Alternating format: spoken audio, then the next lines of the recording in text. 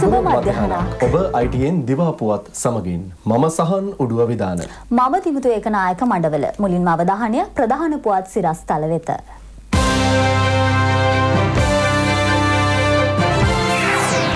අති දක්ෂ ආරක්ෂකංශයක් අප සතු බව අගමැති පවසයි. අම්පාරයේ ගබඩාවකින් අතුරුදන් වූ පිහිතොගය සොයා ගනි. ආරක්ෂාව තහවුරුයි පාසල් විවෘත කිරීම ආරක්ෂකංශ අනුමැතිය මත පමණයි. ෆොනී දිවයිනෙන් ඉවතට. තවහිත් ජමාත් සංවිධාන කොළඹ දිස්ත්‍රික් සංවිධායක ලබන හතතෙක් ක්‍රිමාන්. MCC සමාජයේ බ්‍රිතාන්‍ය නොවන පළමු සභහපති සංගා. බ්‍රිතාන්‍ය ආරක්ෂක ලේකම් ඉවත් කෙරේ. අති දක්ෂ ආරක්ෂකංශයක් සිටීම හේතුවෙන් අප රටට එල්ලවන ගෝලීය තර්ජනයන්ට මුහුණදීමට හැකියාව පවතින බව අග්‍රාමාතය රනිල් වික්‍රමසිංහ මහතා පවසනවා. දැන් අපි ආපහු ජීවිතය සාමාන්‍ය තත්ත්වයට ගෙනියන්ට වුවමනයි. නැත්තං ඒක ඇත්ත වසයෙන්ම ත්‍රස්තවාදයට යටත්වීමක්. ඇත්ත වසයෙන්ම දැන්තියන තාක්ෂණික මට්ටමට වඩා මට්ටමක් වුවමනයි. මේ රටේ මේ ජාත්‍යන්තර ISIS ත්‍රස්තවාදයට විරුද්ධව විශාල සංවිධානයක් තියෙන හැම රටක්ම එකතු වෙලා වැඩ කටයුතු කරන්නේ. එක්සත් ජාතීන්ගේ මණ්ඩලේ මේ සඳහා වෙනම කාර්යාලයක් තියෙනවා. අපි ඔක්කොම එකතු වෙලා අපේ දැනුම අලුත් කරගෙන අපිත් අනිත් කාරණ අලුත් කරගෙන අපි වැඩ කරන්නට තිබෙන්නේ. මම බලාපොරොත්තු වෙනවා අපේ මේ ආරක්ෂාංශයේ බොහෝ දෙනෙක්ට වැඩිපුර පුහුණුව ලබා දෙන්න පුළුවන්. අපිට උවමනා නෑ මාධ්‍යයෙන් ඇති කරපු තව කෝලහලයක්. මාධ්‍යයෙන් විශේෂයෙන් ඉල්ලනවා. මේ බ්‍රේකින් නිවුස් දානකොට මොකද්ද කියලා මතක තියාගන්න. අපි ඔක්කොම එකට එකතු වෙලා වැඩ කරනවා නම් අපි ජාතිවාදයට යන්නේ නැත්නම් එක එක තැන්වල අන්තවාදයත් ප්‍රචණ්ඩත්වය ගැන කතා කරන හඳුනා ගන්නවා නම් අපිට මේ ප්‍රශ්නෙට මූණ දෙන්න පුළුවන්. ඒ ගැන සැකයක් ඇති කරන්න එපා. අපිට හොඳ ආරක්ෂාංශ තියෙනවා ලෝක එක්ක වැඩ කරලා අපිට පුළුවන් ගෝලිය තර්ජනයට මුණ දෙන්න. සිවිල් සමාජ ක්‍රියාකාරීන් දැනුවත් කිරීමේ විශේෂ හමුවකදී අග්‍රාමාත්‍යවරයා මේ බව කියා සිටියේ. මහා සංඝරත්නය මැති ඇමතිවරුන් සිවිල් සංවිධාන ක්‍රියාකාරීන් පොලිසිය හා ත්‍රිවිධ හමුදාවේ උසස් නිලධාරීන් ඇතුළු පිරිසක් මෙම අවස්ථාවට එක්ව සිටියා. ෆොනී සුළුකුණාටුව දිවයිනෙන් ඉවතට ගමන් කරමින් ඉන්දියාවේ ඔඩිසා වෙරළ දෙසට ගමන් කරනු ඇති බවට කාලගුණ විද්‍යා දෙපාර්තමේන්තුව පවසනවා. පවතින සුලන් සහිත තදබැසි තත්ත්වය තවදුරටත් පවතිනු ඇති බවයි එම දෙපාර්තමේන්තුව වැඩිදුරටත් සඳහන් කරන්නේ.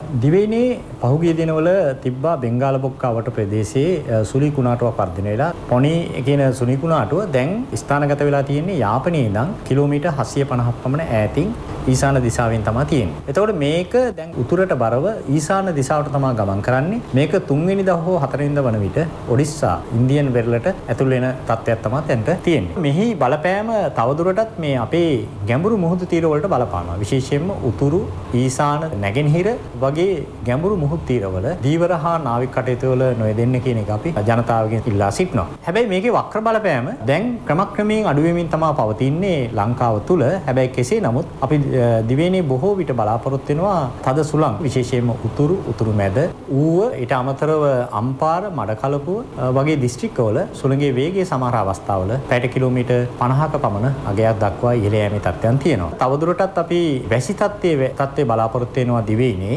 සාමාන්‍යයෙන් සබරගමු මධ්‍යම දකුණු ඊට අමතරව බස්නාහිර වයඹ වගේ පළාත්වල තහ මන්නාරම් වගේ දිස්ත්‍රික්කවල සමහර ස්ථානවලට මිලිමීටර් 50 75 අතර මට්ටමේ වර්ෂාපතනය ලැබීමේ හැකියාවන් තියෙනවා. නිට්ටම්බුව තිහාරිය කහටෝවිට ප්‍රදේශය කළ සෝදිසි මෙහිමකදී තවහිත් ජමා සංවිධානයේ සාමාජිකයකු බවට සැකකෙරෙන පුද්ගලයෙකු අතඩංගුවට ගත්තා. ඔහුළඟ තිබී අන්තවාදී දේශන ඇතුළත් සංයුක්ත ඇටි ඇතුළු උපකරණ රැසක් සොයාගෙන තිබෙනවා. දෙවයින පුරා තවදුරටත් සෝදිසි මෙහියුම් සිදු කෙරෙනවා. ඔහු ළඟ තිබී එම සංවිධානයේ දේශන ඇතුළත් සංයුක්ත තැටි හා ඩ්‍රෝන කැමරාවක්ද සොයාගෙන තිබෙනවා. එමෙන්ම අන්තවාදී දේශන ඇතුළත් හාඩ් ඩිස්ක් දෙකක් හා ලැප්ටොප් පරිගණක යන්ත්‍රයක්ද පොලිස් භාරයට ගැනුණා. කාත්තන්කුඩි ප්‍රදේශයේදී සිදු කළ දේශන මෙහි ඇතුළත් බවයි පොලිසිය ප්‍රකාශ කළේ. ඔහු කැමරා ශිල්පියෙකු ලෙස පෙනී සිට තිබෙනවා. බණ්ඩාරවෙල ප්‍රදේශයේ සිදු කළ සෝදිසි මෙහෙයුමකදී ඩ්‍රෝන කැමරා හතරක් ඇතුළු උපකරණ සොයා ගැනුණා. පූජකවරයෙකු යයි පැවසෙන පුද්ගලයෙකු සහ අනන්‍යතාව හෙළිකිරීමට නොහැකි වූ තුන් දෙනෙකුද අත්අඩංගුවට ගෙන තිබෙනවා. කිසිදු ලියාපදිංචියක් නැතිව එම ප්‍රදේශයේ රහසිගතව පල්ලියක් පවත්වාගෙන ගොස් ඇති බව පොලිසිය පවසනවා. දහම් පාසලක් පවත්වාගෙන යන මුවාවෙන් පල්ලිය පවත්වාගෙන ගියද මීට වසර දෙකකට පෙර මෙම දහම් පාසල වසා දමා ඇති බවටයි හෙළිව තිබෙන්නේ. විවිධ පළාත්වලින් පුද්ගලයින් විටින් විට මෙම පල්ලියට පැමිණෙන බවටද තොරතුරු ලැබී තිබෙනවා. වගා භූමියක තිබී වායු රයිෆලයක් හා වායු පිස්තෝලයක්ද පොලිසිය සොයාගත්තා. අයිස් ත්‍රස්ත සංවිධානයේ සාමාජිකත්වයේ දරන හැටන් මල්ලියප්පුව ප්‍රදේශයේ පදිංචි තරුණයෙකුගේ නිවසේ තිබී පිහි නවයක් සහ ඔහුගේ සහෝදරයෙකු හැටන් පොලිසිය අත්අඩංගුවට ගත්තා. මෙම තරුණයා දැනට යේමනයේ පදිංචිව සිටින අතර පොලිසියට ලැබුණු තොරතුරකට අනුව ඔහුගේ නිවස පරීක්ෂාවට ලක් කෙරුණා. එම නිවසේ ගබඩා කාමරයක තිබී පිහි සොයාගෙන තිබෙනවා. ඔහු දෙදහස් දාසය වසරේ අවසන් වරට මෙරටට පැමිණ තිබෙනවා. අත්තඩංගුවට ගත් ඔහුගේ සහෝදරයා හැටන් දිසා විනිසුරුවරයා හමුවට ඉදිරිපත් කිරීමෙන් පසු රුපියල් ලක්ෂ විස්සක ශරීර ඇප මත මුදා හැරුණා. මේ අතර හැටන් කුරුස දෙවස්ථානයේ ඡායාරූප ගැනීමට උත්සාහ කළ තරුණයන් දෙදෙනෙකු සම්බන්ධයෙන් පොලිසිය පරීක්ෂණ ආරම්භ කර තිබෙනවා. සුදුරදි තොගයක් අත්තඩංගුවට ගැනීමේ සිද්ධියට අදාළව අත්තඩංගුවේ සිටින මොහොමඩ් රිෂාප් නැමැත්තාගේ ඥාතීන් කිහිප දෙනෙකුද පොලිසිය අත්තඩංගුවට ගත්තා. සැකකරුට නවාතැන් දීම සහ සැඟවී සිටීමට උදව් කිරීම සම්බන්ධයෙනුයි මෙම පිරිස අත්තඩංගුවට ගෙන තිබෙන්නේ. ඔහුගේ පියා මස්සිනා ඇතුළු කිහිප දෙනෙකු මෙසේ අත්තඩංගුවට ගෙන තිබෙනවා. කළුතර වෙට්ටුමකඩ ප්‍රදේශයේ සිදු කළ සෝදිසි මෙහෙයුමකදී සැකකටයුතු මෝටර රථයක් සොයා ගැනුණා. සැකකරුවන් තුන් දෙනෙකුද අත්අඩංගුවට ගෙන තිබෙනවා. සැකකරු මෙම මෝටර රථය කුලී පදනම මත ලබාගත් බව ප්‍රකාශ කළද ඔහුගේ නිවස ආසන්න නිවසක සඟවා තිබියදී මෙය සොයා ගැනුණේ. එහි අංකත හඩු පහසුවෙන් ගලවා ඉවත් කළ හැකි පරිදි සකස් කර තිබූ බව පොලිසිය ප්‍රකාශ කළා. කෑගල්හි පවත්වාගෙන ගිය වාහන අංකත හඩු ව්‍යාජ ලෙස සකස් කරන ස්ථානයක් පොලිසිය වැටලීමට ලක් කළා. මෝටරත උපාංග අලවි කරන ස්ථානයක් ලෙස මෙය පවත්වාගෙන ගොස් තිබෙනවා. මෙහිදී සැකකරුවන් දෙදෙනෙකුද අත්අඩංගුවට ගැනුණා. මුද්‍රණ යන්ත්‍ර සහ සැකකටයුතු යතුරු පැදි දෙකක්ද පොලිස් භාරයට ගැනුණා. කිලිනුච්චේ සිවානගර් ප්‍රදේශයේ පාලමක් යට සගවා තිබූ අත්බෝම්බයක් නිෂ්ක්‍රිය කිරීමට යුද හමුදාව කටයුතු කළා. මෙම ප්‍රදේශයේ අකණ්ඩව සෝදිසි මෙහෙයුම් ක්‍රියාත්මක කෙරෙන බැවින් මෙම අත්බෝම්බය සඟවා තබන්නට ඇති බවයි ආරක්ෂකංශ සැක කරන්නේ. තවහිද් ජමාත් සංවිධානයේ කොළඹ දිස්ත්‍රික් සංවිධායක ලෙස ක්‍රියා කළ මොහොමඩ් ෆාරුක් මොහොමඩ් නවාස් නැමැත්තා ලබන හත්වන දාතෙක් රක්ෂිත බන්ධනාගාරගත කෙරුණා. කොළඹ ප්‍රධාන මහේස්ත්‍රාත් අධිකරණයයි එම නියෝගය නිකුත් කළේ. ඉස්ලාම් අන්තවාදී කල්ලියක සාමාජිකයින් වෙමින් අන්තවාදිය පැතර වූ බව කියන සිද්ධියට අදාළව සැකකරු කෙසෙල්වත්ත පොලිසිය මගින් අත්තඩංගුවට ගැනුණා. රැඳවුම් බහරේ සිටි සැකකරු අධිකරණයට අද ඉදිරිපත් කෙරුණා. මෙම සැකකරු සන්තකයේ තිබී ජාතික තවහිද් ජමාත් සංවිධානයට සම්බන්ධ ලේඛන හා වීඩියෝ දර්ශන සොයාගෙන ඇති බැවින් ඒ පිළිබඳ වැඩිදුර පරීක්ෂණ පවත්වන බව කෙසෙල්වත්ත පොලිසිය අධිකරණයට දැනුම් දුන්නා. තවහිද් ජමාත් සංවිධානය සිදු කළ බෝම්බ ප්‍රහාර සිද්ධි ඔහුගේ ජංගම දුරකථනයේ තිබී හමු වූ බවද පොලිසිය අධිකරණයට දැනුම් දුන්නා. පාස්කු ඉරිදා ත්‍රස්ත ප්‍රහාරයෙන් චීන විද්‍යාඥයින් හතර දෙනෙකු මිය ගොස් තිබෙනවා.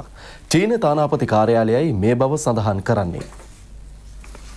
චීන විද්‍යාඥයෙන් හතර දෙනා මෙම අවාසනාවන්ත ඉරණමට ගොදුරු වී ඇත්තේ මෙරටදී පැවැත්වීමට නියමිත සමුළුවක් සඳහා සහභාගීවීම පිණිස පැමිණ සිටියදී.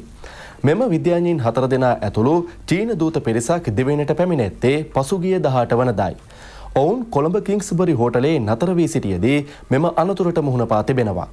තුවාල ලැබූ සෙසු චීන ජාතිකයන් පිරිස වැඩිදුර ප්‍රතිකාර සඳහා චීනයට රැගෙන ගොස් ඇති බවයි චීන තානාපති කාර්යාලය තවදුරටත් සඳහන් කරන්නේ. පාස්කු ඉරිදා එල්ල වූ ත්‍රස්ත ප්‍රහාරයන් ජීවිතක්ෂයට පත් වූ සහෝදරි ජනතාව සිහිපත් කරමින් දිවයින පුරා විවිධ වැඩසටහන් පැවැත්වෙනවා. බෝම්බ ප්‍රහාරෙන් මියගිය අය සිහි කරමින් දානමය පින්කමක් ගම්පහ මැදගම සිරිස් සුනන්දාරාම ධර්මදූත පිරිවෙන් විහාරස්ථානයේදී පැවැත්වුණා. කතෝලික ආගමේ චාරිත්‍රානුකූලවයි පින්කම සිදු කෙරුණේ. ගම්පහ එක්සත් වෙළඳ සංගමයයි මේ සංවිධාන කළේ. විහාරාධිපති පූජ්‍ය තුම්මෝදර සමිත සෝම ස්වාමීන් වහන්සේ සහ කතෝලික පූජකවරුන් පිරිසක් මෙම අවස්ථාවට සහභාගී වුණා. ප්‍රහාරයෙන් ජීවිතක්ෂයට පත් වූ සහෝදර ජනතාව සිහිපත් කරමින් වතුකරේ සියලු වෘත්තීය සමිතිවල සමාජිකයන් ආගමික වතාවත්වල නිරත වුණා. හින්දු කෝවිල්වලට එක් රැස් වූ එම පිරිස් ඉටිපන්තම් දල්වමින් පසුගියදා ප්‍රහාරයෙන් ජීවිතක්ෂයට පත් වූවන් සිහිපත් කිරීමටද මෙහිදී කටයුතු කළා. සමස්ත ලංකා පළාත් පාලන සංසදයේ සභාපති උදේනි අතිකෝරුල මහතා ඇතුළු පළාත් පාලන ආයතන නියෝජිතයන් හික්කඩුව සීනිගම දෙවොල් දේවස්ථානයේදී ආගමික වතාවත්වල නිරත වුණා. ඒ පාස්කු ඉරිදා ප්‍රහාරයෙන් මියගිය ජනතාව සිහිපත් කරමින් සහ තුවාල ලැබුවන්ට සෙත් ප්‍රාර්ථනා කරමින්. පසුව එම පිරිස දේව කන්න ලව්වක නිරත වෙමින් දෙවියන්ගෙන් ඉල්ලා සිටියේ යුක්තිය ඉටුකර දෙන ලෙසයි. දික්කොය හෙඩ්ලි වතුයායේ කම්කරුවන් පිරිසක්ද පසුගියදා ප්‍රහාරයෙන් මියගිය සහෝදර ජනතාව සිහිපත් කරමින් සහ තුවාල ලැබුවන්ට ඉක්මන් සුවය ප්‍රාර්ථනා කරමින් ආගමික වතාවත්වල නිරත වුණා. එම වතුයායේ සේවකයන් විශාල පිරිසක් මෙම අවස්ථාවට එක්ව සිටියා. සර්වාගමික නායකයන් පක්ෂ විපක්ෂ දේශපාලනඥයන් ත්‍රිවිධ හමුදාව පොලිසිය සහ රාජ්‍ය ආයතන නිලධාරීන්ගේ සහභාගීත්වයෙන් විශේෂ ආරක්ෂක වැඩසටහනක් මාතලේ දිස්ත්‍රික්කයේදී ආරම්භ වුණා. රටේ වත්මන් ආරක්ෂක තත්ත්වය පිළිබඳ මෙහිදී සාකච්ඡා කරනු අතර පාස්කු ඉරිදා ත්‍රස්ත ප්‍රහාරයෙන් ජීවිතක්ෂයට පත් පිරිස සිහිපත් කරමින් සහ තුවාල ලැබුවන්ට ඉක්මන් සුවේ ප්‍රාර්ථනා කරමින් මෙහිදී සර්වාගමික වතාවත් ඉටු කෙරුණා. පාස්කු ඉරිදා එල්ල වූ ත්‍රස්ත ප්‍රහාරවලින් මියගිය අය සිහිපත් කරමින් විශේෂ දේව මෙහෙයක් ඉතාලියේ පාදුවා නගරයේදී පැවැත්වුණා. පාදුවා නගරේ ශාන්ත අන්තෝනි මුනිදුන්ගේ දේවස්ථානයේදී මෙම විශේෂ දේවමෙහෙය පැවැත්වුණේ. මෙම දේවස්ථානයේ සෑම මැයි පළමුවනදාකම දේවමෙහෙය පවත්වන්නේ ඉතාලියේ වෙසෙන ශ්‍රී ලාංකිකයන් විසිනුයි. මෙවර මෙම පූජාවෙහි විශේෂත්වයක් වූයේ ශ්‍රී ලංකාවේ ත්‍රස්ස ප්‍රහාරින් මියගිය අය සිහිපත් කරමින් එම පූජාව පැවැත්වීමයි. නිවිල් ජෝ පියතුමාගේ ප්‍රධානත්වයෙන් දේව මෙහෙ පැවැත්වුණා. ඉතාලියේ ශ්‍රී ලංකා තානාපති දයා පැල්පොල මහතා ඇතුළු ශ්‍රී ලාංකිකයන් රැසක් මෙම දේව මෙහෙයට එක්ව සිටියා. අපි ලංකාවේ තියෙන ඒ ත්‍රස්ත්‍රවාදී ක්‍රියා ලංකාවෙන් තුරන් වෙලා ලංකාවේ සියලු දෙනාටම බෞද්ධ හින්දු මුස්ලිම් කතෝලික සියලු මාගම්වලට සැනසීමෙන් ජීවත් වෙනට තෝතන්නක් සැදේවායි කියමින් සියලු දෙනා වෙනුවෙනුත් අපි සුද්ධවන්තෝනි මිනිදිනන්ට මේ දිව් පූජාව තුළදී අපි විශේෂයෙන් යාඥා කරනවා. මැයි පලවෙන්ද ලෝක කම්කරු දිනේදී සෑම වසරකම වගේ ශ්‍රී ලාංකිකෝ පාදුවනගරයේදී එක් රැස් වෙනවා විශේෂයෙන් ගිය සතියේ පාස්කු දිනේදී මියගිය ශ්‍රී ලාංකිකයොත් ඒ වගේම විදේශ ජනතාවත් සියලු දෙනාම සිහිපත් කරමින් මේ දේව මෙයන් සහ ආගමික කටයුතු සිදු කරා. රුදුරු බෝම්බ ප්‍රහාරයෙන් ජීවිතාක්ෂේපත් සියලුම රැසියන් වෙනුවෙන් පවත්වනු ලබනු දේව පූජාව සහ තුවාල ලැබූ සියලුම දෙනා නිරෝගීභාවය ලැබෙන්න පවත්වපු දේව මෙහෙයක් හැටියට තමයි සුවිශේෂ දේව මෙහෙයක් පැවැත්වුනේ. අම්පාරසීනි සමාගමට අයත් අතුරුදන්ව තිබූ පිහිතොගය සොයාගෙන තිබෙනවා. උක්කැපීම සඳහා යොදාගන්නා පිහි එකසිය හැත්තෑ හතක් පසුගිය විසි නවවනදා අතුරුදන් වූයේ මෙම සීනි සමාගමට අයත් අංක හතර මුවන්ගල්ල ගබඩාවේ තිබියදී. එදින රාත්‍රී කාලයේ කිසියම් පිරිසක් ගබඩාවේ ඉබි අතුරු කඩා පිහිතොගය රැගෙන ගොස් තිබුණා. පොලිසියට ලැබුණු තොරතුරකට අනුව මෙම පිහිතොගේ සොයා ගැනුනේ ගබඩාවේ සිට කිලෝමීටර් හතරක් දුරින් ගල්ලොය ගඟ අසබඩ ස්ථානයක වලදමා තිබේදී. පොලිස් නිලසුනකයෙකුගේ සහයෙන් මේ සම්බන්ධ සැකකරුවෙකු අතඩංගුවට ගැනුණා. තවත් සැකකරුවෙකු අත්අඩංගුවට ගැනීමට නියමිත බවයි පොලිසිය පවසන්නේ. දැන් කෙටි විරාමයක්. ඔබ නැවතත් දිවාපුවත් සමගින්. සියලුම පාසල්වල ආරක්ෂාව තහවුරු කර ඇති බව අමාත්‍ය අකිල විරාජකාරය වසම් මහතා පවසනවා. එය අනුව සියලු පාසල් විවෘත කරන්නේ ආරක්ෂක අංශවල අනුමැතියෙන් පසු බවයි අමාත්‍යවරයා ප්‍රකාශ කළේ. ආරක්ෂක අංශවලින් අපි ඉල්ලීම් කරනු ලැබුවා අධ්‍යාපන අමාත්‍යාංශයේ විදිහට අපිට නැවත පාසල් පටන් ගන්න නම් සියලුම පාසල් දැඩි ආරක්ෂා සහිතව ආරම්භ කළ යුතුයි. ඒ වගේම පාසල් ආරම්භ කරාට පසුව ඒ අවශ්‍ය ආරක්ෂාව අපිට ලබා දිය යුතුයි කියලා. ඒ අනුව සියලුම පාසල් පරීක්ෂා කරලා දෙන්නත් ඒ වගේම පාසල් පටන් ගත්තයින් පසුව අවම වශයෙන් එක පොලිස් නිලධාරියෙක්වත් එක පාසලකට ලබා දෙන්න එකඟතාවය පළ කරනු ලැබුවා. අපි ගත හැකි හැම පියවරක්ම පාසැල් වල දරුවන්ගේ ආරක්ෂාව වෙනුවෙන් ආණ්ඩුවක් විදිහට අමාත්‍යාංශයක් විදිහට අපි අරගෙන තියෙනවා. ඒ වගේම ගන්න කටයුතු කරලා තියෙනවා සාකච්ඡා කරලා තියෙනවා. සියලුම ආරක්ෂක අංශවලින් පැහැදිලි එකඟතාවයක් ලබාගෙන තමයි පාසල් ආරම්භ කරන්න තීරණය කරනු ලැබුවේ. පෞද්ගලික සේවක වැටුප ඉහළ නැංවීම සඳහා අදාළ පනත ගෙනීමත් සමග දෙදහස් පහ අයවැය සහන දීමනාවද එම වැටුපට එක්වන බව කම්කරු අමාත්‍ය රවීන්ද්‍ර සමරවීර මහතා පවසනවා. අයිටන් හත්වන පැය වැඩස්ටහනට එක්වෙමින් අමාත්‍යවරයා මේ බව හෙළි කළා. දෙදස් දාසේදී පළවෙනි වතාවට අපි පුපියල් දහදාහක අවම වැටුපක් ලබාදිය යුතුයි කියන පනත පාර්ලිමේන්තුවට අපි ගෙනාව. අපි මේ වතාවෙති කරේ මැයිදිනියත් සමගාමීව අගමැත්තුමා ඉල්ලීමක් කෙරුවා ඒ දහදාහේ අවම වැටුප් සීමාව දෙදස් පන්සීයකින් අපි වැඩි කරලා තියනව මේ වෙනකු. කැබිනට් මණ්ඩලේ අනුමැතිය ලැබුණා. මං අමාත්‍යවරය හැටියට දැන් පාර්ලිමේන්තුවට මේ පිළිබඳව පනතක් ගෙනන්නට තියෙනවා මං එකන සතිය විතර ගේන බලාපොරොත්තු වෙනවා. එතනද අපි කරන්නේ පෞද්ගලිකංශයේ සේවකයන්ගේ අවම වැටුප රුපියල් දොළොස්දස් පන්සිය දක්වා වැඩි කර. මේකට එකතු වෙනවා දෙදස් පහේ අයවැය සහන දීමනාව. රුපියල් දාහයි දෙදස් දාසේ අයවැය සහන දීමනාව රුපියල් දෙදස් පන්සීයයි. තොට ඒ දෙකත් එකතු වුණහම අවම වැටුප රුපියල් දාසේ දහක් වෙනවා. එතොට අවම වැටුප රුපියල් දාසේදාහ වනහම දෛනික වැටුප. දැන්තියෙන්න්න රුපියල් හාරසීයයි මේක රුපියල් හයිසිය දක්වා වැඩියෙනවා. අපි රජයක් හැටියට අවම වැටුපක් තීන්දු කරනවා. ඒ අවම වැටුප තීන්දු කරපු හම කිසි ශේස්ත්‍රයකට එතනින් පල්ල හැට යන්න බෑ. ඉතින් මේක මං හිතන්නේ මේ රටේ වැඩ කරන ජනතාව ලබාගත්ත ලොකුම ජයග්‍රහණයක් හැටියට තමයි මට මේ වෙලාවේ කියන්න පුළුවන්. මේ අතර රාජ්‍ය සේවක වැටුප ඉහළ යාම් සම්බන්ධයෙන්ද අමාත්‍යවරයා කරුණු පැහැදිලි කළා. රජයේ සේවකයන්ගේ පැත්තෙන් ගත්තහම අපි දෙදස් පහළවේ පෙබරවාරි මාසේ කිසි කෙනෙක් නොහිතපු විදිහේ වැටුප් වැඩිවීමක් වැඩි වුණා. දැන් මෙතනදී කවුරුත් කතා කරන්නේ රුපියල් 10000කින් වැටුප් වැඩිවීමක් වුණා කියලා. මේ වැඩිවෙච්ච රුපියල් 10000 අවුරුදු හතරක් තුළ තමුන්ගේ මූලික වැටුපට එකතු වෙනවා. කාර්යාල කාර්ය සේවේ එහෙම නැත්නම් කම්කරු සේවේනි අද තියෙන පල්ලහැම තියෙන තනතුර. ඒ තනතුරේ ඉන්න පුද්ගලයෙක්ට මේ වෙනකොට 25000ක් ලැබෙනවා නම් දෙදස් විස්ස වෙනකොට රුපියල් හතලිස් පන්දහකට විතර වැඩි වෙන. එතොට රුපියල් පනස්දාහක ඉන්න පිරිස රුපියල් අසූදාහකට අනූදාහකට යන. බොහෝ දෙනා රුපියල් ලක්ෂකට එහා වැටුපක් දෙදස් විස්ස වෙනකොට ගන්න. පාර්ලිමේන්තු මන්ත්‍රී ෆිල්ඩ් මාර්ශල් සරත් ෆොන්සේකා මහතා සහභාගී වන සංවාදය වැඩසටහන අද රාත්‍රයේ දහයට අයිටන් ඔස්සේ විකාශය කෙරෙනවා. රට ආරක්ෂා කරනවා කියන එක ප්‍රස්වාදයක් එනකම් ඉඳලා නෙවෙයි දේශපාලනඥයන්ටයි හමුදා ප්‍රධානීන්ටයි තේරෙන්නේ. ඒ වගකීම යුද්ධයක් තිබුණත් නැතත් තියෙනවා. අද ඇති වෙලා තියෙන තත්ත්වයට පහුගිය අවුරුදු 10 තිබුණ සියලු මාණ්ඩුව කියන්න මම ෆීල්ඩ් මාෂල් කෙනෙක්. මම මේවා ගැන දන්නවා. මම ෆීල් මාර්ෂල් උනේ ගෝල් ෆේස් එකේ කඩල විකුල්ලා නෙවෙයි. අන්තවාදයට තිත තබමු.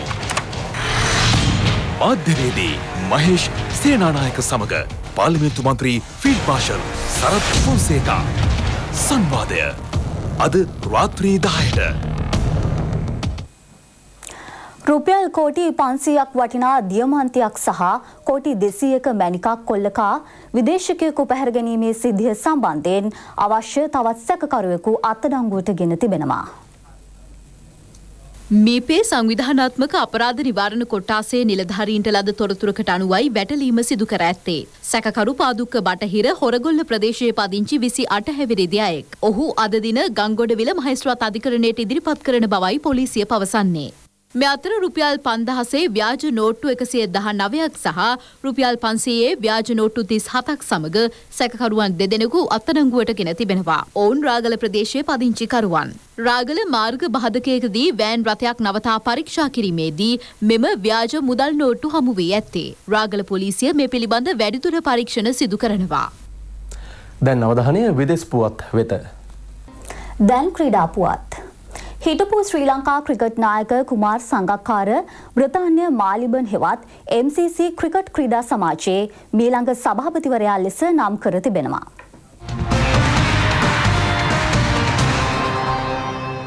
මාලිබන් ක්‍රිකට් ක්‍රීඩා සමාජයේ සභාපති තනතුර මෙතෙක් ලබා දුන්නේ බ්‍රිතාන්‍ය ජාතිකින්ට පමණයි. බ්‍රිතාන්‍යයෙන් පිටත වැසියෙකුට එය ලබා දුන්නේ පළමු වරටයි. ඒ අනුව කුමා සංගක්කාර ලබන ඔක්තෝබර් මාසයේ සිට එහි සභාපතිවරයා ලෙස කටයුතු ආරම්භ කරනවා. සංගක්කාර දෙදහස් එකොළහ වසරේදීද මෙම ක්‍රඩා සමාජයේදී ක්‍රිකට් ක්‍රඩාවේ අභියෝග හා වර්ධනය පිළිබඳ දේශනයක් පැවැත්තුවා. එම අවස්ථාවද විදේශකයකුට ලබාදී තිබුණේ පළමුවරටයි. ලෝඩ්ස් ක්‍රිකට් ක්‍රඩාපිටිය කේන්ද්‍ර කරගනිමින් ක්‍රියාත්මක මෙම ක්‍රඩා සමාජයේ සාමාජිකයෙන් විසිතුන් දහසක් සිටිනවා. තවත් දින විසි අටකින් ආරම්භ වන එක්දින ක්‍රිකට් ලෝකුසලාන තරඟාවලියේ අවසන් මහා තරගය ජූලි මස දා හතර වනදා පැත්වීමට නියමිතව ඇත්තේද ලෝඩ්ස් ක්‍රඩා පිටියේදී. I would like to contribute towards the MCC becoming a global voice of authority on cricket, that it becomes proactive, anticipating change, and is courageous and bold in partnering innovation and ensuring that it plays its part in the direction of the game in its future. ඒ සමගින් ITN දිවාපුවත් අවසන් වනවා. සවස දෙකට අපගේ පෑන් පැයපුවත් ප්‍රකාශය බලාපොරොත්තු වන්න. සුබ දවසක්. www.itnnews.lk